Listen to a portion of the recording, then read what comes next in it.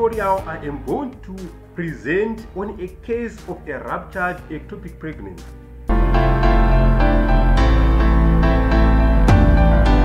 What is an ectopic pregnancy?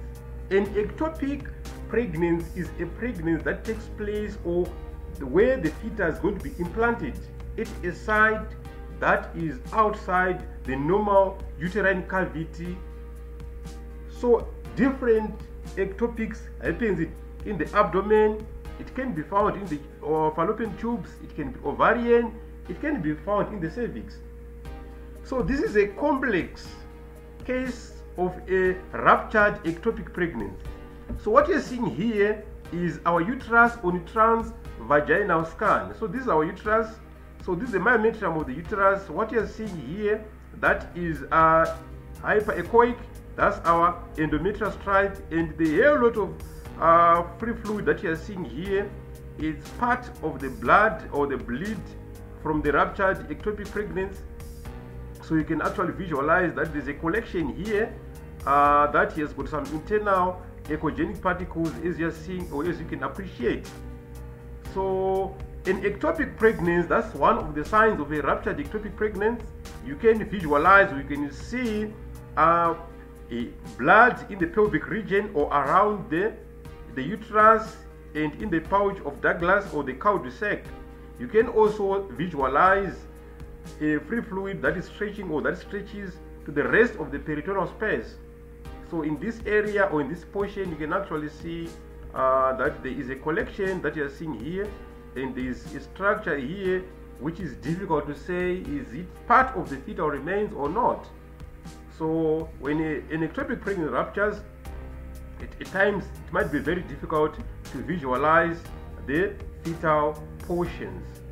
So in this uterus, you cannot you can actually see that there is no uh, sign of pregnancy there. There is also no evidence sign of a pseudo pregnancy that is a, a pseudo gestational sac sorry that can be associated with these ectopic pregnancies. So this woman was actually positive.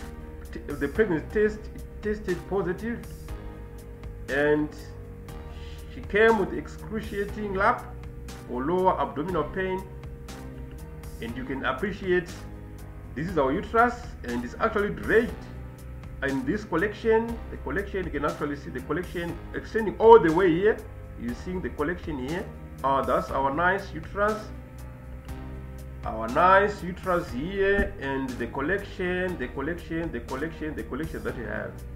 Unfortunately because of this complex free fluid or complex blood or bleed here uh, that is actually forming a hematoma it's now very difficult to see or to visualize uh, the remains of the fetal parts.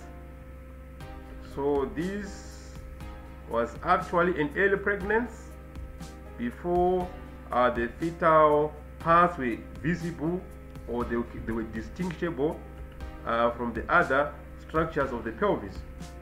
So you can actually see here uh, part of the broader ligaments here uh, that is that is holding uh, the uterus in space, and you can see the other part of the broader ligament is here, and we have got our nice myometrium here and the endometrium here, and the collection surrounding the uh, the uterus. So sonographically, this is one of the signs that we use to verify that uh, a pregnant, an ectopic pregnancy is actually ruptured. You see um, peritoneal free fluid or free fluid around the uh, the uterus in the pelvic region, in the pelvic space. So this is exactly what you're seeing here, but you are not seeing obvious fetal parts.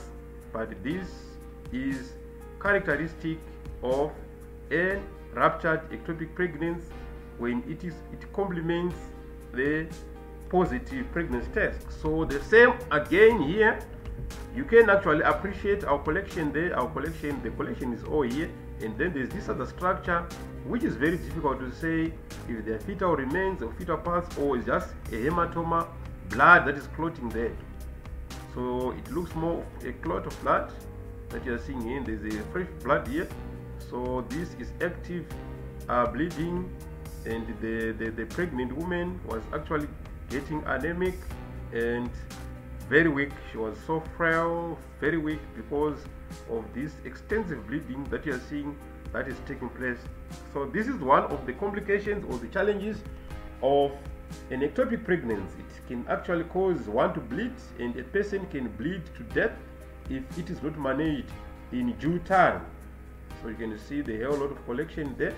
That's the bleed. Coming here again, you can actually see this, uh, our nice uterus here, that is of normal size. In the right around it, you can actually see the complex collection that we have. That's the complex collection extending all the way here. And you can see it's extending all the way here. So this sonographically is consistent with a hematoma. Coming again here, you can appreciate from this how big the hematoma was. So it's going all the way, it's going all the way here. So, so the uterus is actually here. This is our endometrial stripe, and this is part of the myometrium of the uterus. And you can see the collection. This is a very big uh, collection that we have here. So that's a giant uh, hematoma. There's something here that we are seeing, but we cannot actually appreciate if it was part of the gestational sac or what. So it's difficult to assess when a, a, a, a pregnancy or an ectopic pregnancy is ruptured because the blood actually can actually masquerade everything. So it's very difficult now to see distinctive structures because of this big or giant hematoma that we have here. So this is a case of a ruptured ectopic pregnancy. Sonographically, you can see free fluid around the uterus with a discernible gestational sac or without a discernible uh, gestational sac or fetal parts. However, when this complements a positive pregnancy test, you can actually confirm that the pregnancy is actually ruptured. We have got a second case.